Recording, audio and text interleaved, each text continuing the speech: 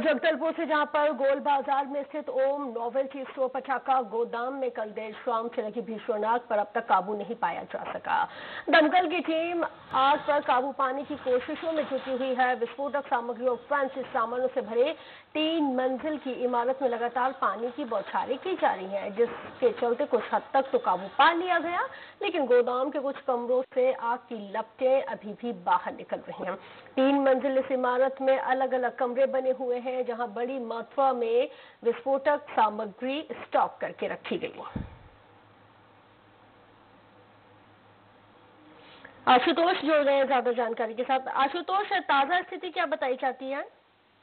देखिए, जिस तरीके से, जो कल आग लगी थी रात को, और लगभग चौदह यहाँ पर जो दमकल मशीन है उसको तैनात किया गया था और लगातार आग के ऊपर काबू पाने का प्रयास किया जा रहा था हम्म। लेकिन सुबह तक ये स्थिति थी कि जो तीसरे फ्लोर में जो रूम है वहाँ पर आग रुक रुक के जल रही थी और धुएँ निकल रहे थे जिसके कारण जो सुरक्षा बल वहाँ पर तैनात थी, वो अंदर नहीं जा पा रहे थे।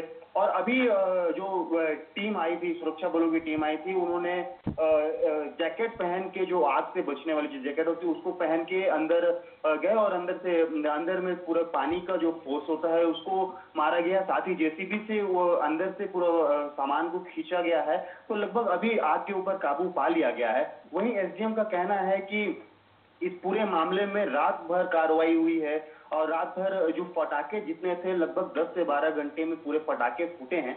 पटाखे फूटने के बाद कहीं ना कहीं जो आग है, वो थोड़ी सी कम हुई है, लेकिन साथ में फैंसी स्टोर भी था जिसमें आग लग गई थी और आग लगने के कारण फैंसी स्टोर के जितने सामान है, वो जलने लगे और कई प्लास्टिक की चीज़ें होते हैं, वो पिघल के यहाँ पर और धुएँ के रूप में परिवर्तन हो रहा था, जिसके कारण और दहशत फैल रही थी कि कहीं आग और ना बढ़ जाए। लेकिन अब फ़िलहाल की स्थिति अगर देखा जाए तो यहाँ पर अभी आग के ऊपर काबू पा लिया गया है और अंदर की स्थिति अभी देखी जा रही है कि क्या अंदर कोई और पटाखे तो नहीं बचे हैं या फिर आग कहीं और सुलग तो नहीं रही है।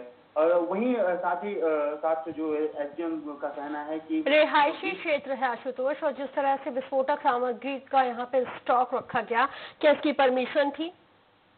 जी, बस इसी चीज़ की जो जानकारी हमने लेनी चाहिए एसडीएम से, इससे पहले भी कई बार प्रमुखता से इस खबर को हम दिखा चुके हैं कि शहर के बीचों बीच दो फटाखे की दुकान है जो गोदाम है। गोदाम में काफ़ी विस्फोटक सामग्री भी यहाँ पर रहती है। इसके बावजूद भी प्रशासन ने इसको दूर रखने की प्रयास नहीं की और इस तरीके के बड़े हादसे यहाँ पर होते नज़र आए हैं। तो एसडीएम का भी कहना है कि हम इस पे कार्रवाई करेंगे, जाँच करेंगे। अभी तो हम आग बुझाने के ऊपर फोकस कर रहे हैं। और आग बुझ जाती है उसके बाद से हम जानकारी लेंगे और पूरी कार्रवाई करेंगे दूसरों पे कार्रवाई की आशुतोष इससे एक बात तो साफ़ ज़ाहिर हो गई है कि आ, सुप्रीम कोर्ट की उन तमाम गाइडलाइन गाइडलाइंस हैं जिनका उल्लंघन किया जा रहा है जिस तरह से रिहायशी क्षेत्रों में इस तरह से विस्फोटक सामग्री या का स्टॉक नहीं किया जा सकता है या इस तरह की जो फैक्ट्रियाँ हैं उनका संचालन नहीं किया जा सकता।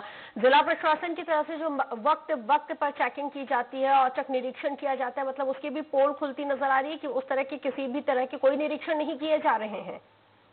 बिल्कुल जिस तरीके से ये बड़ा हादसा हुआ है, काफ़ी सालों से ये यहाँ पर संचालित है वैसे। पटाखे की जो फैक्ट्री है, ये काफ़ी सालों से संचालित है, लेकिन अभी तक प्रशासन ने कार्रवाई नहीं की लेकिन अब जिस तरीके से बड़ा हादसा यहाँ पर हुआ है तो प्रशासन के जो तमाम जो अधिकारी हैं, वो कार्रवाई करने की बात कर रहे हैं और इसमें कई अधिकारी भी चपेट में आने की यहाँ पर आशंका जताई जा रही है। जिस तरीके से जो दुकान है, जो फैक्ट्री होती है, वो पैसे के धौस जमा कर भी अधिकारियों के ऊपर नज़र बनाए रखिए। अपडेट्स आपसे आगे भी लेंगे। बहुत शुक्रिया जानकारी के लिए आपका। झाबुआ ज़िले